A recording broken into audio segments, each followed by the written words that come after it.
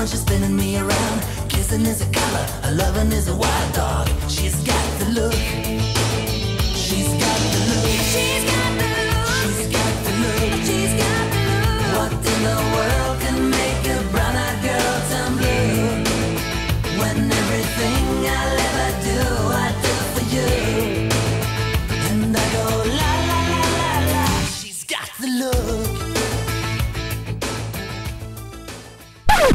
My name is James Tulander with Total Finishing Solutions and Total Finishing Supplies.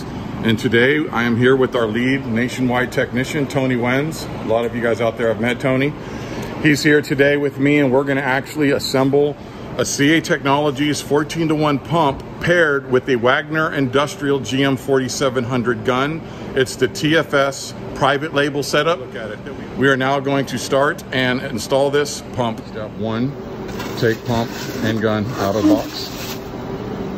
This is the pump on a stand straight out of the box. So you can see it already comes installed on the stand with two wheels. Very compact, pretty easy setup here.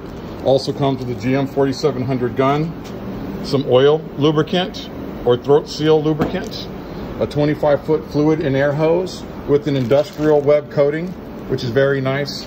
And you also get the Wagner GM 4700 red air cap along with the 13 slash 40 Wagner industrial double-sided tip. As you can see, we have the air inlet fluid pressure, atomizing air. We got the fluid outlet, and then we have our two sensors. This is for atomizing air, and this is for the fluid pressure. We'll review further in detail what our recommended settings are here shortly. The first thing we're gonna do is on the air inlet, we're gonna go ahead and tape that up real nice so we can get a nice seal. Just wanna cover the air and fluid hoses as we've had confusion in the past because they do have the same sized fittings. What we're gonna do is first hook up the air hose to the atomizing air input and you'll notice the shorter ends that are more confined will be hooked up to your gun. So again, the blue hose is the atomizing air and the yellow hose is your fluid hose. What you want to do here is get these pretty snug and then give it an extra quarter inch turn. So these are going to be pretty tight. So now that the fluid and airline is connected, we are going to connect the other two ends to the GM 4700 gun. Blue atomizing airline goes to the back of the gun. The yellow fluid line will go to the front of the gun where you can see the filter is housed. We will make these fittings snug and then give it an extra quarter turn. The suction rod comes already assembled.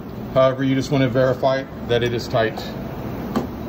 In this case, it came just like this, perfect, ready to go. Next thing you're gonna do is get the tip that comes with your setup out.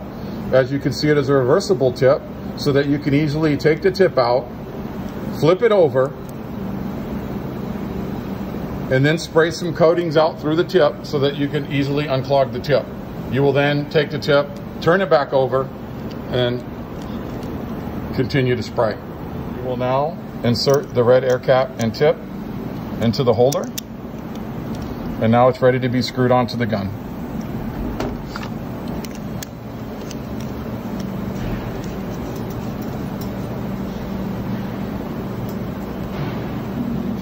You'll then go ahead and hook up your compressed air.